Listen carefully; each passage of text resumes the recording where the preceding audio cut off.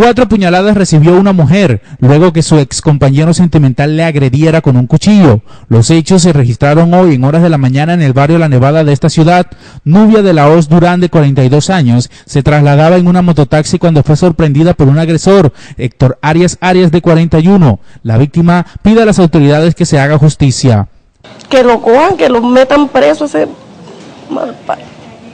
Yo no quiero vivir con él porque él me maltrata mucho y él quiere obligarme a vivir con él, yo iba a buscar una pieza porque yo tengo una casita allá donde vivía y él me sacó de ahí. Me botó con los hijos y entonces yo me fui donde la hija mía. Yo iba a buscar una pieza para allá para la Nevada. Y entonces él me siguió.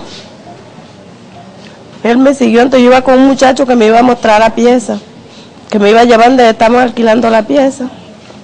Y entonces me agarró y enseguida me llevó, me agarró por el pelo y me, llevó, me llevaba donde mi mamá. Entonces me metió por un lugar donde no había casi gente. Y ahí fue cuando me agarró a puñalar.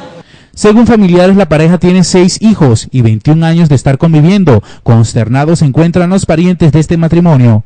Ellos se por una fin, pues él la cogió y le dio una pladera y ella, él se, ella se vino y él me lo juró a mí que la iba a matar.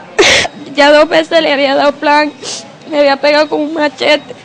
Por otra parte, la hermana de la mujer lesionada afirmó que en varias ocasiones sectorarias maltrataba física y verbalmente a Nubia. Manifestó además que el victimario no acepta terminar la relación. No, ellos se separaron ya hace varios meses y, llevan problemas. Él está mal. Dice que no duerme. No, no duerme, no come, no sé. Exactamente no sé qué es lo que pasa con ellos, pero... ¿Por motivo de la separación? Por motivo de la separación. Siempre he sido agresivo con ella.